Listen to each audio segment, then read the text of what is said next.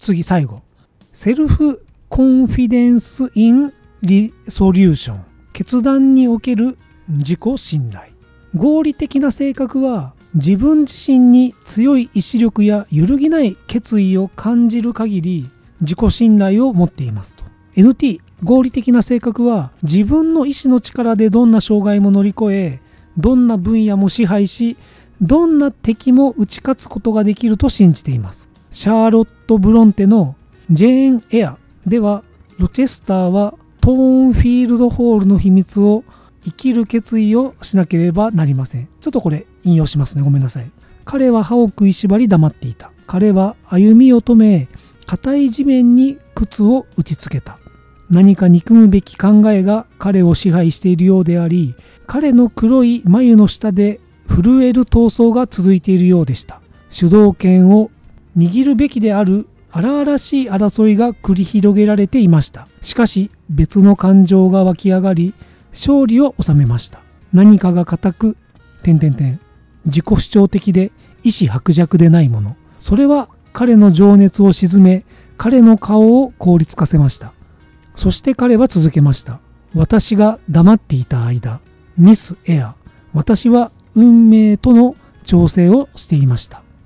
中のま ドラマの中のセリフなんでしょうね、はい、一旦合理的な性格が何かを成し遂げることを決意するとある種の契約を自分自身が結んだと言えます。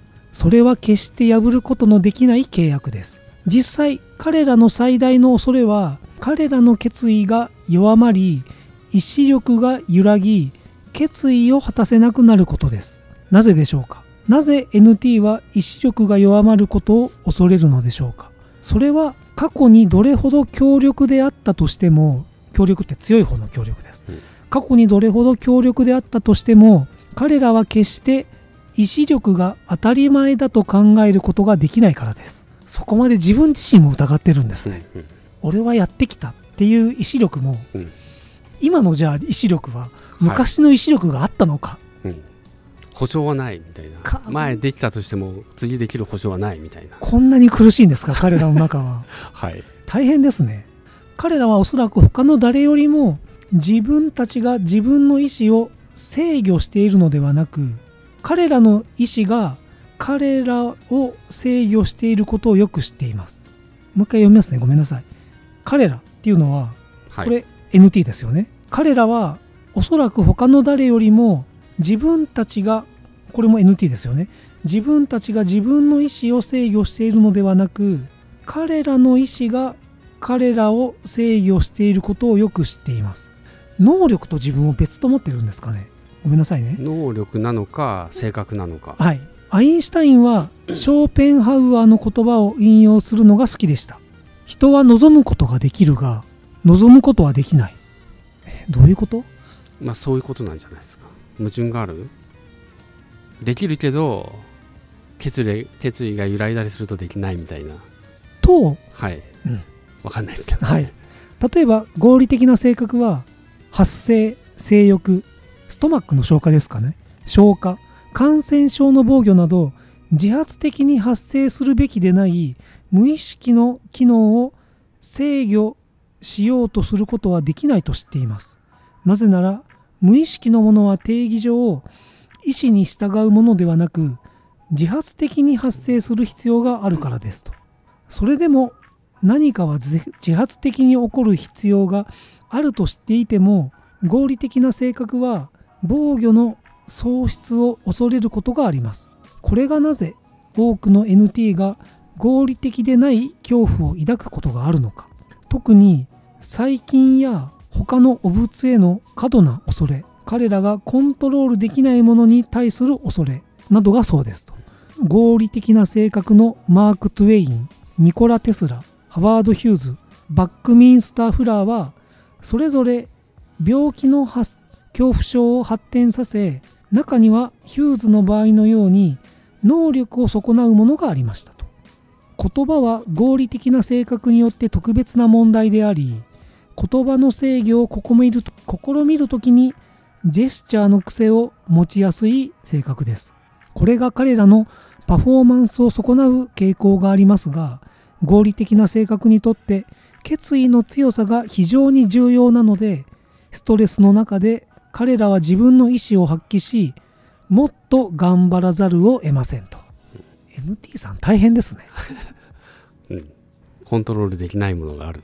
そっかしょうしょうがないができない人ですしょうがないができない。そこに苦しんでるみたいな。で僕はなんかえ最近とかなんて食べて寝れば寝ればいいんですよね。はい。って思ってるんですよ。はいはい。これ若干プラシプラセーボもプラシボもあると思うんですね。はいはい。そういうのが単純に思えないんですもんね。そういうのが単純に思えないしそれがまあ非合理な部分もあるって話じゃないですか、僕これ絶対だと思ってるので。絶対っていうと。うん寝て食べれば絶はい。対病気にならない、はい。おおと思ってるんです。絶対ならないことはないですよ。ならないです。みんななります。はい、コロナにもなりました。はい、はい。まあ免疫が上がるっていうのだったら分かりますよね。はい、はい、でもこういうなんか楽観的にはい。ポイってできないんですもんね。はい。僕ななったらなった時ですからね。はいはいはい。はい。で SJ もじゃないですかこんだけ準備してなったらなった時。もうしょうがない。しょうがそれは運命だ。やることをやった。はい。面白いですね NT さん。えっ、と NT は切り替えが遅いと感じると。うん。僕若干ねこの NT と SP を結構一緒にはい。えいってしてる。まあ、頭の回転が速いから切り替えも速い。みたいなイメージね、イメージが勝手に、にしてるのかもしれません、なるほど。合理的なのにうん。非合理な恐れを抱く。よくわかると。はい、本当それだと。なるほど。非合理なところが怖いんですもんね。ああそっか。合理的なところはもう見えてるわけじゃないですか。はい。なるほど。だけど性欲とかってもうコントロールできないものがもう怖くてしょうがないみたいな。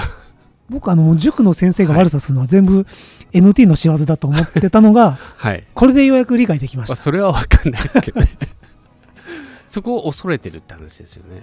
まあ、性欲は理解できないですから性ね欲は理解できないし、はい。してしまうかもしれないっていう恐れがあるみたいな、そうですよね、はい、だからあの人たちが NT かどうかは分かんないです。ごめんなさい。はい、すいません。P だとじゃあこっちがまだできるのかな、うん。INTP さんですね。はい、P が入れば。入れば。E- ENTP も。はい。はい。リスさんすべてを合理的に処理することはできないことは分かっているのに自らはそういうことはできない。そこに限界を感じることは多いですねと。いやなんか今ねちょっと初めてなんていうの、はい。エンパシーというかシンパシーというか。はい。なんだと？はい。同じ地平線じゃないかと。はい。思いましたよ。はい。あ血管を見つけた。違う。言い方悪い言い方悪い。あなんかはい。苦しんでんだなって。はい。みんなね。SP くらいじゃないですか？苦しんでないの。いやどうしてもなんか SP にも鉄を加えたいんですけどね。一緒ですよ。同じ風景を見てそれを苦しんでるかまあまあまあまあそういうことですよね。ははい。い、性欲と食欲と睡眠欲とあとははい承認欲求ですかね。はい。はい、というところではい。この自己評価シリーズはい。が終わったので、はい。またカーシー博士「プリーズアンダースタンドミー2は、えー、と来週の金曜日からはまたはい。あの別のはい。ネタを。切り方でまたはい。やっていきたいと思ってます、はい。というところでごきげんよう